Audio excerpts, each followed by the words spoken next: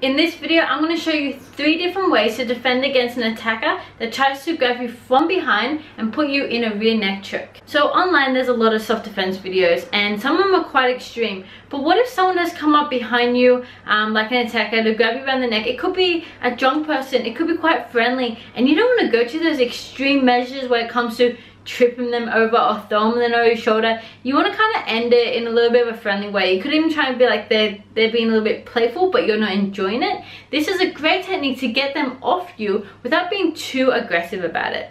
So let's say they're behind you, they've got you in a rear neck choke, meaning their arm is across your chest, putting a little bit of pressure on your neck or just hugging you and you're really not comfortable and you're not enjoying it. So all you're gonna do, you're going to grab your fingers, put it on the back of their arm and just roll their skin in between your hands. It's kind of like a sharp stabbing pinching feeling. So you're not going to twist the skin. That does hurt but it doesn't do as much. Just grabbing the skin, the widest part is better because it's more sensitive and more stretchy and you're just going to roll it in between your fingers.